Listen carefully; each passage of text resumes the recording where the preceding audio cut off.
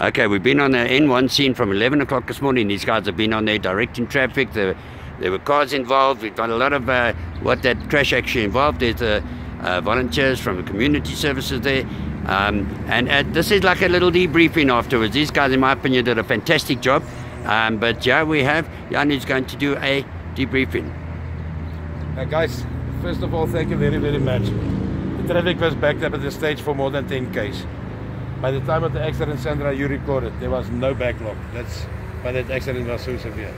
So just a word of thanks and a compliment to all of you. Um, Lee, you and your daughter, Daniel, and Patrick from the magazine as well. So, so you guys were fabulous. The traffic, uh, we got it flowing. We closed it when, when it was necessary. So not because they are here, from my side. Thank you very much. It's, uh, I'm proud to be the leader of this team. You guys are fabulous. Thank you very much. And for you guys as well, we met you today.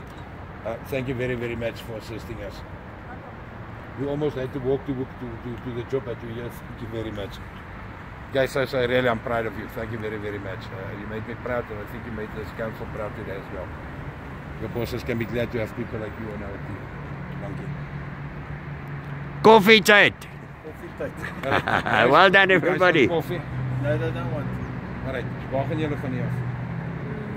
Okay, now they now they have to carry on with other duties, and um, you know the JPMD seldom get thanks. A lot of complaints about the cops, but these guys, I was on the scene. They did the most amazing job in securing the scene. Everybody, so much goes into involvement into an accident like that. They did a great job in securing the scene and making sure there weren't secondary accidents, trying to open the highway, get the traffic flowing. Often put themselves in pretty much danger, and um, yeah, so that's it. Coffee date.